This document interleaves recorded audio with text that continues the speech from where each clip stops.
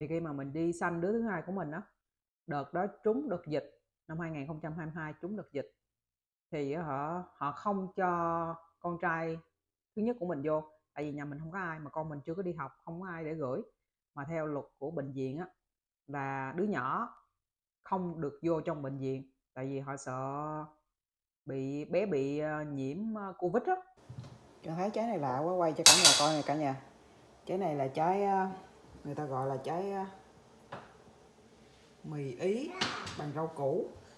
Cái này là mình làm á, xong rồi mình bào ra nó giống như cộng sợi mì ý vậy đó. Nên ta gọi là mì ý rau củ. Và đây đây là trái mà mình đã cắt ra này cả nhà. Lần đầu tiên mình thấy nó nảy mầm luôn á. Thấy lạ quá nên quay cho cả nhà coi nè. Đó. Giống như cộng giá luôn á rồi à, cắt ra. Cái này nó hơi cứng á ông xã mới cắt ra xong. Cắt ra coi này nhìn nó nảy mầm luôn nhìn đã quá đây nhà mình ngán thịt mình sẽ ăn à, uh, chuối luộc nha cả nhà. Đây mình sẽ luộc bốn trái chuối luộc. Luộc xong rồi mình sẽ bỏ vô bơ. Đây mình cho bơ vô chảo nè cho bơ đổi món cho con mình nè đây là phần ăn sáng đơn giản của nhà mình nè cả nhà. Chuối bơ rắc tí xíu uh, hạt mè rang bơ, trái bưởi, đúng rồi, trái bưởi. Đây rồi thêm trái trứng nữa là xong. Đơn giản. Chuối xanh nó rất là tốt cho sức khỏe cả nhà. Ai mà bị ờ, cao huyết áp hay gì thì mình ờ, nên ăn chuối xanh ha. Chuối xanh thì mình hấp hay mình luộc gì cũng được có khi mà cái vỏ chuối nó nứt ra là được. Cả nhà coi cái cây hành nè cả nhà, mà không biết hành nè hành này là hành gì mà ông xã nói là hả, nó đã chín rồi còn phải dùng nó đó, mình phải à, hái nó vô ăn. Mà để mình ngửi thử coi cái này nhìn lạ quá à. Nó ra hoa luôn là đẹp ghê. Thơm thơm mùi hành đấy chứ. Mà sao cái cái cái màu nó lạ quá. Cả nhà có ai thấy cái cây này bao giờ chưa ta? Nè, hành nè.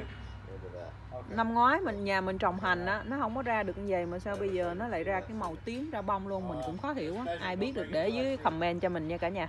Đã thu hoạch được một một rổ hành rồi nè cả nhà nhiêu đây là cũng phải hai đô đó. Trong siêu thị là bán hai đô đó cả nhà. Đây, cô nông dân gặt được một mớ hành. Hai đô hành đây. Này, nắng rồi đó nha, cả nhà. Nên mình phải à, đội nón nón mặc quần ngắn. Nguyên cái đầm ngắn. Cho có vitamin D. Nguyên một sáu tháng trời. Trú đông. Không có ánh nắng mặt trời. Nên bây giờ mùa xuân đó, nắng nóng, tranh thủ chạy ra phơi nắng để có vitamin D. Vitamin D rất là tốt cho sức khỏe đó cả nhà nhưng mà nhiều người á người ta uống vitamin D á, thì mình phải bổ sung vitamin K2 nữa nha cả nhà. K2 K số 2 thì à, nó mới có hai cái vitamin D và vitamin K2 kết hợp với nhau thì nó sẽ nó mới đồng điệu nó mới phù hợp với sức khỏe. Tại vì nhiều người không biết người ta chỉ uống có một cái thôi thì nó không có phát huy tác dụng bằng khi mà mình dùng hai cái vitamin D và vitamin K K2 K2 cả nhà nhớ nghe. Mà thường thường họ bán vitamin D trong siêu thị rất là nhiều nhưng mà ít có siêu thị nào mà bán vitamin K2 vitamin K2 nha cả nhà.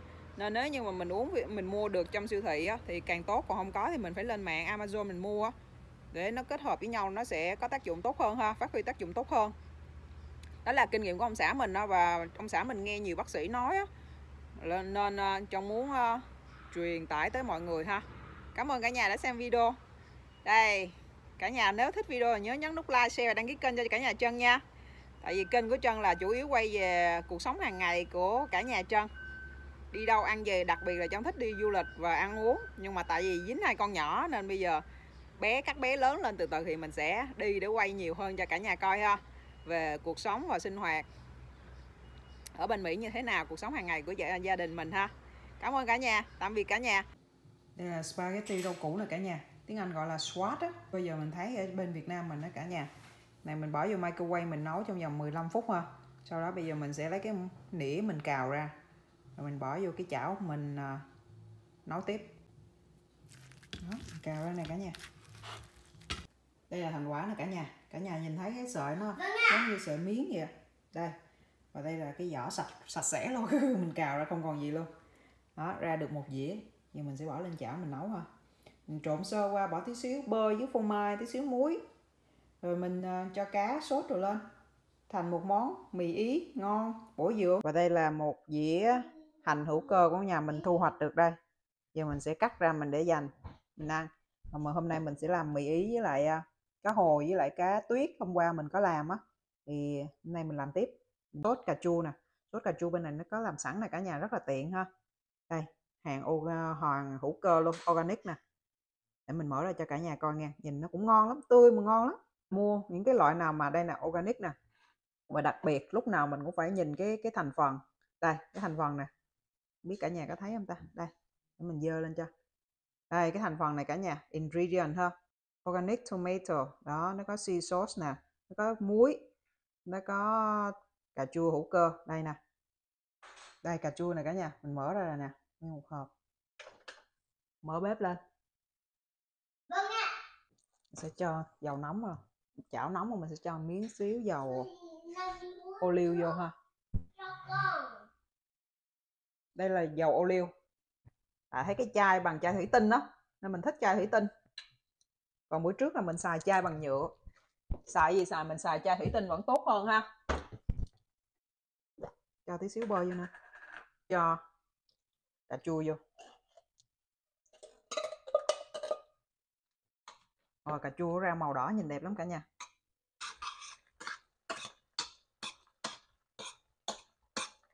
Rồi, mình sẽ cho cá vô luôn. Cá mình sẽ dầm nát ra. Cho con mình nó dễ ăn á. Lâu lâu nó cũng có một cái dầm xương nhỏ xíu á cả nhà, mình phải kỹ á ha. Tại cho con mình ăn mà đây nè, nhỏ xíu vậy nè. Đó, mình phải dầm dầm ra để mình kiểm tra thử có xương hay không á. Lâu lâu mới có vậy á. Tại nhà mình cũng ăn cá cá hồi này nhiều lắm. Tại con mình nó ăn cá hồi tốt cho sức khỏe, tốt cho trí não. Nên mình ờ, hay mua cho con mình nó ăn cá hồi. Và đặc biệt là cá hồi đại dương á. Nó có nhiều chất dinh dưỡng hơn là cá hồi nuôi. Mình nêm tí xíu muối, tí xíu. Muối hồng.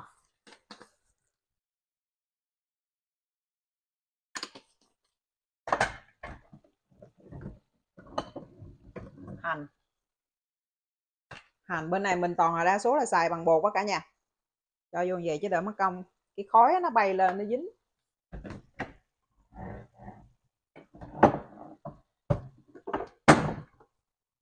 Tỏi.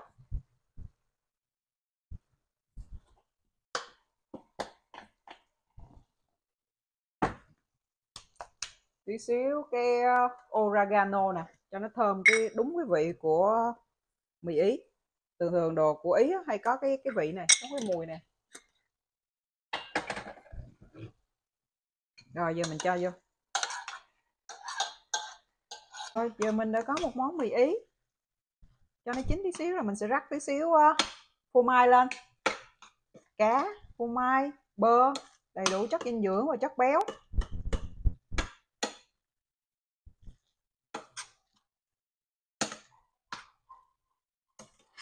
Tại vì ở ngoài ăn mì ý nhưng mà nó không có được đậm đà. Mình làm ở nhà mình bỏ nhiều muối hơn nhiều ờ, tỏi, nhiều hành đồ á, cho nó thơm. Và đặc biệt mình cho thêm tí xíu này nữa nè, làm cho nó thơm nè. Đây, dầu mè. Mình ăn gì mình cũng cho dầu mè vô cả nhà, nó thơm. Đó. Thơm nước mũi luôn. Xíu tiêu nữa. Ý không có cho tiêu, không có cho ăn cay. Mình ăn mình chế. Rồi rau củ quả không? Rất là tốt cho sức khỏe. Tại vì à, bên này á con mình nó không ăn canh nên mình phải à, chế ra những cái món như thế này nè cho mấy ảnh tiêu thụ canh tiêu thụ rau củ quả. Ừ, ăn gì ăn mình nấu gì nấu mà mình phải đảm bảo là con mình ngày nào cũng đi à, đi ị nha cả nhà. Nó mới tốt. Vậy nè rồi chuối nữa con mình nó khoái ăn chuối nữa mà chuối cũng dễ đi nữa chuối với đu đủ. Nói chung là nhà mình tiêu thụ trái cây rau củ quả nhiều lắm. Bên này, trái cây rau củ quả bên mỹ này không có rẻ, nó cũng mắc. Nhưng mà đều ờ, thà làm chân quan niệm là thà ăn, còn hơn là để tiền đi bác sĩ cũng vậy. Đặt mặc dù là bên này ờ, trẻ nhỏ thì có có bảo hiểm sức khỏe, không có tốn tiền, nhưng mà tốt nhất là mình vẫn giữ sức khỏe tốt cho con mình ha. Ông chồng mình ổng cũng ờ, ăn kỹ ổng cũng, nói chung là ổng coi những cái tin tức á coi những cái kiến thức. Toàn là những bác ông bác sĩ nổi tiếng ở, ở Mỹ này nói không à. Nên ông có những cái kinh nghiệm và qua những cái kinh nghiệm cuộc sống của ông từng trải bao nhiêu năm nay nữa nên ông rút ra. Bây giờ thì mình đã có một nồi mì ý rất là ngon. Thì để mình nếm lại thử vừa ăn chưa? Ừ. vừa ăn ngon rồi cả nhà. Cảm ơn cả nhà đã theo dõi video cả nhà nếu thích thì nhớ nhấn nút like, share và đăng ký kênh cho chân nha. Chân cảm ơn cả nhà. À quên. Để mình cắt miếng hành vô nữa chứ. Là hành hữu cơ này cả nhà. Giờ mình sẽ cắt vô cho nó màu mè, cho nó thơm. Người ý. Người ta không ăn hành giống mình. Người ta sẽ ăn những cái cọng ờ, cần tây. Cái bông này không biết có ăn được không cả nhà? Để mình ờ, cắt mình bỏ thử thôi tại vì ở phan rang mình cũng có ăn cái cái bông màu xanh xanh đó cũng cái hành đó, mà cái bông nó màu trắng chứ không phải bông màu tím giống như bên này. Rồi, tắt bếp thôi. Cảm ơn cả nhà. Đây, mình mới xay xong cái ly sinh tố này cả nhà. Giờ mình sẽ ăn trưa và uống ly sinh tố này ha. Con nhỏ nên tranh thủ các bé đi ngủ rồi giờ mình nấu ăn. Mình ăn trưa. Mời cả nhà cùng thưởng thức. Chung mời cả nhà ăn trưa đạm bạc với chân nha. Đây chân có bỏ tí xíu, cua cả nhà, hôm qua chân làm còn á, bên này cua, thịt thật họ cắt ra sẵn, họ bán trong cái hộp á. Costco chợ Costco chợ sĩ có bán thì chân mua về. Hôm qua còn, giờ mình bỏ vô mình ăn mì, ý, xào, cá hồi, cua, tí xíu hành. Đó. Và đây là nước ép trái cây sinh tố và nước. Trong mời cả nhà cùng dùng cơm trưa với trân mì, ý, rau củ món này chỉ có bên này mới có thôi Việt Nam cho không có thấy ha. Mời cả nhà.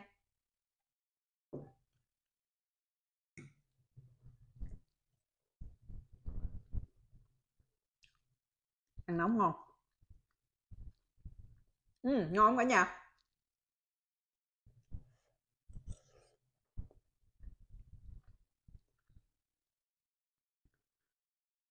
Thật ra bên Mỹ này cả nhà xin phép được tâm sự với cả nhà tí xíu nha bên Mỹ này á từ khi chân qua á 4 năm rồi. Ở nhà con con để cái trong con không à. Việc nhà nói chung là việc nhà thì cũng không có gì nhiều toàn là máy móc có làm không à chứ mình cũng ít làm chủ yếu là chăm sóc con á. Thanh con để cái mà ông chồng cũng cũng biết điều nữa ông hiểu lắm. Chồng mà có tốt hay không là khi mà mình uh, sanh con á cả nhà. Kể cả nhà nghe lúc mà mình sanh con thứ nhất á thằng con trai đầu tiên của mình á ông xã không cho mình làm việc trong vòng 2 tháng không đụng tới gì luôn, chỉ có chăm con thôi. Với lại việc nhà đồ cũng không có gì nhiều, chỉ lấy cái đồ trong cái đồ rửa chén đồ ra thôi, còn ổng làm hết luôn. Hai tháng đầu tiên không cho mình làm gì, chỉ có nấu ăn rồi là cũng ổng nấu với lại bà mẹ chồng, á, mẹ chồng không ở chung, ở là kế bên, căn hộ kế bên á. Cả nhà biết sao à tiếp nối câu chuyện của của mình kể, mình cưới chồng á, thì cả nhà biết tại sao mình đi mình nhận lời ổng không? Tại vì mình nói là mình không có thích bên nước ngoài, tại vì nước ngoài lạnh á thì mới nói là mới nói là em yên tâm đi. Nơi mà anh sống không có lạnh. Em không phải lo về điều đó. Đó là một cái. Thứ hai là em yên tâm, em cũng phải không phải làm neo. Nên đó là lý do tại sao mình chấp nhận á. Và nơi không lạnh đó là biết ở đâu không cả nhà? Florida nó nắng nóng y chang như bên Việt Nam vậy nhưng mà được cái là nó có biển rất là đẹp. Biển mình đi, mình sống. Bên này mình mới di chuyển vào bang thứ hai mình sống biển Florida là đẹp số 1 luôn. Hồi đó mình ở Việt Nam á mình thấy biển Nha Trang cái biển Phan Rang của mình rất là đẹp. Phú Quốc nữa. Qua bên này biển Florida là nổi tiếng thế giới luôn. Những người mà Hollywood hay là những người nổi tiếng á, đa số họ chở họ đi về bên Florida để họ nghỉ dưỡng về cái biển. Nên biển mình nó rất là nổi tiếng. Giờ chuyển qua bên này nhớ dễ sợ luôn.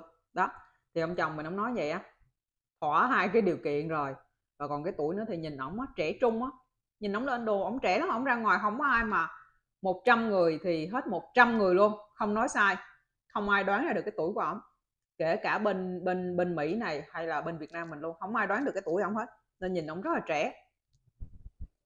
Ừ. thì á mình sinh ra mình sanh xong bé thứ nhất á ổng làm hết không phải cho mình làm gì luôn. Rồi giờ qua đây qua chuyển chân chuyển qua bang mới bang uh, Washington tại vì ông nói là môi trường tốt, con người hoặc là khí hậu cũng rất là tốt. Đúng thiệt cả nhà. Cái bang này hả? Ông nói là kinh nghiệm của ông luôn và chân cũng cảm thấy như vậy luôn. Tại vì chân tiếp xúc chân làm việc 12 năm trong khách sạn là khách sạn của chân họ 90 phần trăm là người nước ngoài không? Ít rất người việt lắm. Tiếp xúc rất là nhiều người và không có chỗ nào luôn mà cũng không có người nào mà thân thiện, mà rất là dễ thương. Giống như những người ở đây hết trơn á. Ông xã chân cũng cùng luôn, cùng cái ý ý nghĩ như vậy luôn. Rồi họ thân thiện mà nhìn họ hay lắm. Cái cách của họ rất là hay, rất là nice, theo tiếng tiếng anh nó thân thiện mà, và đặc biệt mình để xe hay để tất kỳ những cái gì ở ngoài mình không sợ mất. Nỗi mà ông xã mình đi qua đường á, cái người á, người ta đứng lại luôn. Cái người đi trên đường người thấy, người ta thấy mình chuẩn bị qua đường họ đứng lại, họ họ ra dấu cho những cái xe khác dừng lại cho nhà mình qua đường luôn cả nhà. Đến mức độ như vậy luôn á nhìn họ rất là thương, thân thiện và dễ thương. Ông chọn cái nơi này tại vì môi trường khí hậu tốt. Tốt cho con cái của mình nó đi học sau này, nên nhà mình quyết định chuyển qua bên này. Nhà mình qua bên này là không có ai hết luôn á, chỉ có hai vợ chồng thôi. Còn bên ở Florida là có gia đình chồng á, có đầy đủ luôn, anh chị em, con cháu quá trời đông mà vui lắm. Bên này thì chỉ có vậy thôi. Nên nó hả, mình chỉ vậy đó, không ít có người nhà làm gì mình cũng làm trong gia đình rồi mình tự tạo ra, tự dạy cho con cái của mình tiếng việt, tiếng anh. Tại vì á hả chân nghĩ quan điểm của chân là hả, con của mình người việt là phải biết tiếng việt, cho dù ở đâu đi chăng nữa phải biết tiếng việt. Nên chân đề ra mục tiêu là phải cho con mình nghe nói đọc, viết bốn kỹ năng. Trước khi con đến trường, trước khi con 5 tuổi bây giờ con được 3 tuổi mà con đã nghe nói đọc, viết được hết rồi. Viết luôn. Mọi người có coi cái video mà trăng bối lên là con có thể viết được chúc mừng sinh nhật luôn á. Nói chung là bây giờ trăng đọc chính tả là bé có thể viết được tiếng anh lẫn tiếng việt, bé đọc luôn được luôn. Mình cái đó cũng mừng. À còn một điều nữa. Mình xay sinh tố cả nhà. Thường mình xay sinh tố thì mình sẽ xay với sữa, đúng không? Sữa thì à, chân cũng đọc, tại vì ông xã chân đọc. Xem nhiều bác sĩ thì chân thấy cũng có lý và chân coi theo của ổng. Thì có một cái à, chân đã từng coi. Ông bác sĩ có có đề cập tới là không phải những trái cây nào mình cũng đều xay được hoặc là làm sinh tố được với sữa nha cả nhà. Giống như những trái cây chua mà nãy chân làm ba loại á và có những cái chua trong đó nữa, nên chân không phải dùng sữa chân dùng nước lọc. Cho tí xíu, với lại chân bỏ trái chuối vô cho nó cái ngọt tự nhiên á, chứ chân không có dùng đường. Rồi, nước. Vậy đó, ra thành sinh tố nè. Tại vì sữa mà đi với những cái cái trái cây chua á, nó sẽ không có tốt cho sức khỏe. Nên chân muốn chia sẻ cái điều đó luôn ha. Cả nhà nhớ nha cảm ơn cả nhà đã cùng ăn một buổi trưa với trân ha. Trân cảm ơn cả nhà tạm biệt cả nhà. Rồi trân ăn hết sạch rồi nè cả nhà. Ngon trân kể cho cả nhà nghe câu chuyện nữa nha. Trân quay cái bang mới này bang washington đó cả nhà. Lúc mà trân đi xanh đứa thứ hai á thằng con trai thứ hai của trân á. Rồi buồn dễ sợ luôn. Cái ngày đó hả bình thường ở bên này á chân sinh đứa thứ nhất cũng bên này nhưng mà bên Florida. Thì à, lúc mà chân xanh á thì chồng được vô chung với mình. Tại vì bên này mình sống không có ai hết. Nhà mình mình không có dòng họ bà con gì trên này hết. Chỉ có đi theo chồng thôi và có gia đình chồng. Thì có gia đình có chồng khi mà mình sanh mình đẻ thì vô mà có chồng thì mình vui rồi. Có nhiều động lực mình vui tại vì đâu đẻ mà. Cực, giống như gì vậy? Mình đẻ thường hết hai đứa mình đều đẻ thường hết. Mình vui có động lực thêm thì họ mình đẻ nó nhanh hơn mà nó nó khỏe hơn. Rồi qua bên bang Washington là nhà mình không có ai nha cả nhà. Không có một người thân người quen nào bên này hết thì khi mà mình đi sanh đứa thứ hai của mình đó đợt đó trúng đợt dịch, năm 2022 trúng đợt dịch, thì họ họ không cho con trai thứ nhất của mình vô, tại vì nhà mình không có ai, mà con mình chưa có đi học, không có ai để gửi. Mà theo luật của bệnh viện á, là đứa nhỏ không được vô trong bệnh viện, tại vì họ sợ bị, bé bị ờ, nhiễm ờ, covid á, nên không cho vào. Thì không cho vào thì ba bé cũng đâu được vào đâu ba bé thì được vào nhưng mà bé nhỏ không được vào. Đó là quy định của bệnh viện, tại vì sợ bị covid. Nên hả, bé không được vào thì ba bé phải ở nhà chăm sóc bé. Rồi ơi, nghe cái vừa bước vô cổng là họ đã không cho vô liền, họ giải thích cho mình nghe. Khóc quá trời luôn cả nhà chân lúc đó chân khóc quá trời luôn, suy sụp luôn. Xong họ bắt đầu lên trên ờ, phòng phòng xanh á. Tại vì chân không có đau bụng. Bác sĩ là khám thấy bé lớn rồi bé, bác sĩ kêu mình đi vô đi xanh ngày đó ngày đó luôn. Mà nằm từ tối 7 giờ mà tới 10 giờ sáng trong cái xanh ra được. Thì họ vô đó họ đưa cho mình cái thuốc gì á. Rồi ờ, kể tiếp. Vô đó hả lên trên phòng xanh chân khóc quá chừng luôn chân năn nỉ. Cô y tá nó là họ có thể nói chuyện với cấp trên cho một cái ngoại lệ được không? Tại vì nhà mình mới chuyển qua đây không có ai hết không có người thân. Mà cô cũng biết rồi thì hả, mình sanh mình đẻ mà không có chồng bên cũng buồn cũng tuổi lắm chớ. Thì cô y tá cô nghe vậy cô cũng cũng có gọi điện cho cấp trên cũng thông báo cũng nói là tình hình rồi như như vậy á. Cấp trên không chấp nhận cả nhà, quy định là quy định, đúng là bên mỹ này luôn á. Đâu ra đó đàng hoàng, quy định là quy định. Thế là mình mình buồn buồn dễ sợ luôn á, nhưng mà giờ buồn có một phút thôi. Giờ nói, mình nói nhỏ với đứa con của mình trong bụng á, nói rồi chứ thôi con ơi, hai mẹ con mình cố gắng mạnh mẽ lên, can đảm lên sanh nhanh đi rồi về hở gặp ba với lại gặp anh hai. Nói vậy cả nhà, hình như là bé có thể hiểu hoặc là có cái sự nối kết của mẹ và con hay sao á. Sanh nhanh cực kỳ luôn, lúc mà hở thuốc thấm hay gì á. Mình lên cơn đau bụng trong vòng hở năm mười phút thôi, bác sĩ không kịp tới luôn á. Y tá phải nói phải hối bác sĩ tới. Tại thường là họ y tá chỉ ở với mình, khi nào mình chuẩn bị sanh thì bác sĩ mới tới. Làm thủ tục sanh cho mình thôi. Họ cho em bé ra bác sĩ chưa kịp tới luôn mà họ chân rằng mà em bé sắp sửa ra luôn. Cô y tá phải đứng dịnh mình luôn rồi bác sĩ tới vừa kịp thời là họ cho em bé ra ngoài luôn. Mừng quá trời mừng luôn. Xong xong mình nói với em, con của mình hả? Hai mẹ con mình cố gắng lên con khỏe mạnh nha, con ráng con khỏe mạnh nha. Rồi xong rồi hả, nói vậy bé hiểu hay sao á, không biết nữa. Xong rồi hả, hai mẹ con mình, mẹ tròn con vuông sinh ra trong vòng 24 tiếng. Bác sĩ y tá tới kiểm tra tình hình sức khỏe của mình như thế nào á, tại mình cũng muốn về nhà chứ mình không muốn nằm, thường là phải nằm ở đó hai hai ngày, ba ngày để họ kiểm tra. Như bên, kinh nghiệm của trong bên bên cái ban cũ là như vậy. Cái bên ban này 24 tiếng. Xong rồi họ hỏi sao? Họ nhìn, họ kiểm tra tốt hết, mẹ và con đều tốt, tại vì bé cũng bú sữa mẹ mẹ cũng có sữa. Mà sanh thường nữa. Thế là, mà chân chịu đau nha cả nhà, họ đưa cho mình ba cái loại à, thuốc giảm đau. Thuốc này, thuốc kia thuốc kia, thuốc nào không chân không dùng gì luôn. Chân nó không. Tại vì dùng những cái thuốc đó đó, nó bị ảnh hưởng sau này nên chân không dùng nhân ráng nhân chịu đau một tí xíu, mà đau thiệt, đau kinh khủng luôn. Nhưng mà ráng, tại vì đó là chuyện bình thường thôi. Ai cũng phải trải qua, nếu là một người phụ nữ là phải trải qua cái đó. Cực kỳ đau và bị tuổi thân nữa. Nhưng mà nhân ráng, nhân cố, trong vòng họ có mấy tiếng hồ, rồi xong, sanh ra. 10 giờ, vô bệnh viện, cả nhà mình vô bệnh viện lúc 7 giờ rưỡi tối. Mà tới sáng, buổi sáng, xong, sau khi mình sanh ra trong vòng 24 tiếng thì bác sĩ cũng cho mình ăn uống đầy đủ. Trong bệnh viện ở bên này cả nhà, thì ờ, mình xanh á, thì có người bưng đồ ăn tới tận giường luôn cho mình phục vụ cho mình ha. Khi nào mình ăn xong thì mình để đó họ sẽ tới họ dẹp giống như ở khách sạn vậy đó nhìn rất là sạch sẽ và rất là thoải mái. Thì chồng mình cô y tá cũng chụp hình gọi điện FaceTime cho chồng mình trong lúc mà mình sanh á. Ông cũng ông cũng động viên tinh thần ông nói cố lên ông biết là khó khăn nhưng vượt qua được. Rồi mình vượt qua. Thì hai mẹ con khỏe mạnh xong rồi bác sĩ tới cuối ngày cái ngày đầu tiên 24 tiếng đồng hồ á thì bác sĩ kiểm tra mẹ và con ok hết rồi, cho về nhà. Thế là hai mẹ con về nhà được gặp ba, mừng quá cho mừng luôn. Đó đó là câu chuyện của ngày hôm nay của trân ở cả nhà. Kinh nghiệm. Đó, nên họ trân muốn làm youtube này để mà chia sẻ những gì mà cuộc sống chung quanh của nhà trân ha, và chia sẻ, giao lưu tất cả mọi người. Cảm ơn cả nhà. Cả nhà nếu thích video thì nhớ nhấn nút like, share và đăng ký kênh cho chân nha. Chân cảm ơn cả nhà. Tạm biệt cả nhà đây, bạn 15 tháng chơi swing này cả nhà. Đó, chơi xích đu đẩy em đi con. Rồi anh hai đẩy em chơi swing này cả nhà. Ok, good job. Ok, good job. Alright oh yeah. Oh yeah. Good. Ừ. nay mùa hè mẹ cho con ra tập thể dục này cả nhà. Em đi bị té rồi. tự đứng lên đây giỏi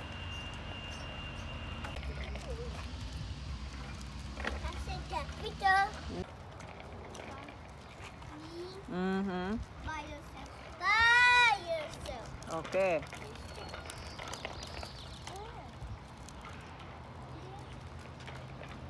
Đây, Leo Obama leo núi này nha cả nhà.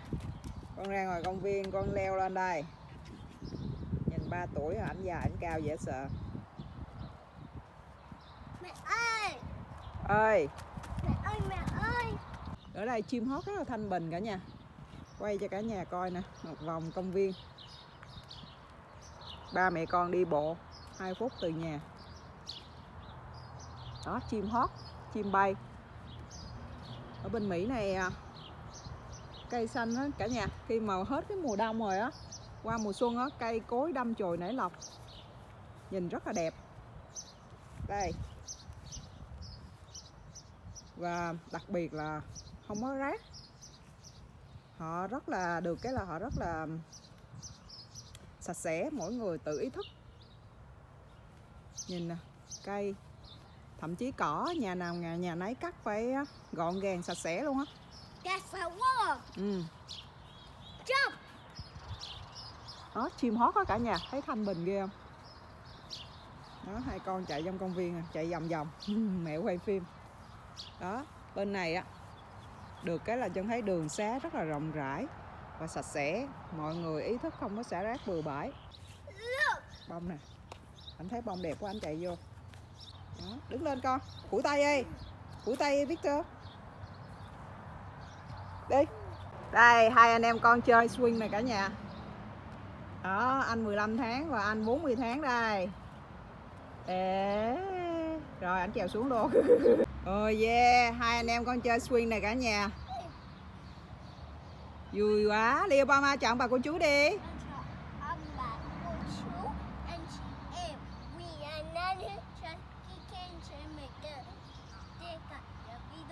Giỏi quá, con chọn bà cô chú, anh chị em vui lòng nhấn nút đăng ký kênh để cập nhật video mới.